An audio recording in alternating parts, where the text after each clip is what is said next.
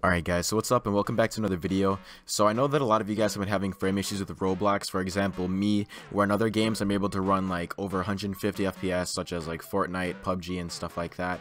But then I come to Roblox and I play a game like Phantom Forces or pretty much anything and I'll be having frame rate issues where I drop down to 45, sometimes even lower, and overall just not enjoying it because the game is capped at 60. Now a while ago on my old channel I did a little tutorial using Roblox Studio where you could increase your FPS and just overall smooth gameplay gameplay for Phantom Forces and etc, which did pretty well. It got 4.3k views, but now I have an updated version, which I actually did learn from watching a SynthesizeOG video, and I figured I'd give SynthesizeOG um, credit for it because I did watch his video and figure out how to do this. So make sure you guys go subscribe and like his video. That will be in the description because it's the original thing, but I figured I'd share it with you guys for those who don't know who he is, and I just helped get this around more.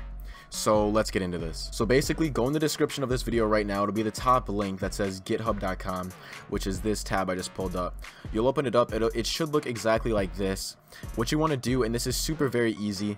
Um, all you have to do is come over here, click clone or download, download zip, okay don't click open in desktop because you have to download like a whole software and stuff like that. Just click download zip. This is everything that's supposed to be in the zip thing. But the only thing that actually really matters is the injector.exe and then down here is like all you have to do. It's basic instructions here but otherwise you can just listen to this video. It'll be just as easy. So you're gonna click download zip. And then when it pops up um it might say like Trojan virus detected. Guys, please trust me on this. It is not actually a virus. SynthesizeOG did it. I did it. Um, a few other people did it. I'm sure thousands actually have done it by now because Sin made a video on it as well. It is safe. It's just going to say Trojan. Just allow it to work on your PC and it won't give you any viruses. I can promise you that. I swear to you. It won't give you any viruses. So after you do that, you're going to bring it up, make, go to your desktop, click new, and then create folder. And then I titled mine FPS Unlocker. And then drag it into there. Drag this little um, zip file into there, the new folder you just made. You can click it, and then for me, it wasn't working for me to use the software before or after I played, like it tells you to here um, on, the, on the website. What worked best for me was if I got into a Phantom Forces game, which I'll do right now for you guys. So here we are loading into the game right now. My shadow player up here says 60 FPS, but you guys can't see that. So if I press Shift F5, Sorry, I press Control F5. Shift F5. As you guys can see, I have 60 FPS right now.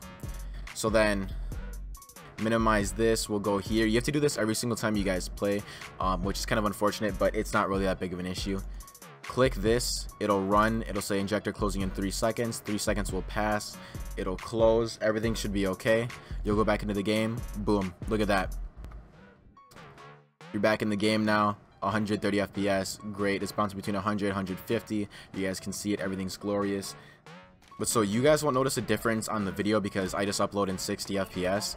But for gameplay wise, you guys will notice a massive difference. Dude, I haven't played Phantom Forces in forever. Um, yeah, so gaming wise, you'll notice a massive difference. Video wise, you will not simply because I only upload in 60 FPS. But even my ShadowPlay is saying like, yo, what the heck, dude, you're getting over 100 FPS right now. So if you guys do the simple trick, it's really quick, really easy, it's safe, so don't worry you will get over 100 FPS, unlimited FPS, whatever FPS your game should be running at because if you have a good computer.